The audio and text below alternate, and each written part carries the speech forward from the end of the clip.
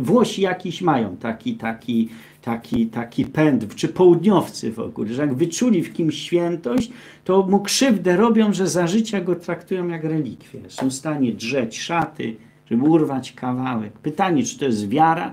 No wiara jest, ale sposób, sposób jest właśnie jak te trąbki, y, czy te wykrzykniki ze tego strony. I to należałoby napiętnować. To tak samo jak Wojtyle zaczęli klaskać, jak go wybrali na, na papieża, to w którymś momencie było miejsce na powiedzenie tego, co yy, Pius X też nie, nie powiedział Włochom w bazylice świętego, świętego Piotra, ale jest, że pomyślał. Albo powiedział po cichu. Nie klaszcze się na sługę w domu swego Pana. Tak powinien kiedyś któryś z, z, z, z papieży, jak będzie katolicki papież, wobec Włochów powiedzieć w kościele, wobec bab. Baby, stare Włoszki w kościele przyjdą we Włoszech, to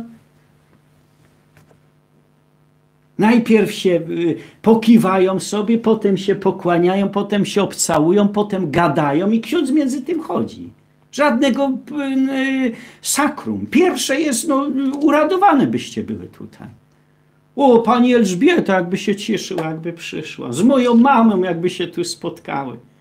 I ksiądz między tym, który chodzi zadowolony, jak kogut w kurniku, że się włoskie baby na starość między sobą, a to dzieci, młodzież to samo. To ktoś powinien na to powiedzieć. To, to, nie, są, to nie jest po katolicku. Dlatego później być może w rycie rzymskim masz też taką sztywność ze strony mężczyzn, jak ulegali czemuś takiemu, no to, to później wychodzi, że, że no, w, w, może być coś z prawdy ze słów, które ksiądz Mirek, jak w katakumbach byłem, jak Włochów poznał, to ty wiesz, w każdy Włoch to taka ciota. Czy taki nie wiadomo, czy to facet, czy to, czy to, czy to kobieta.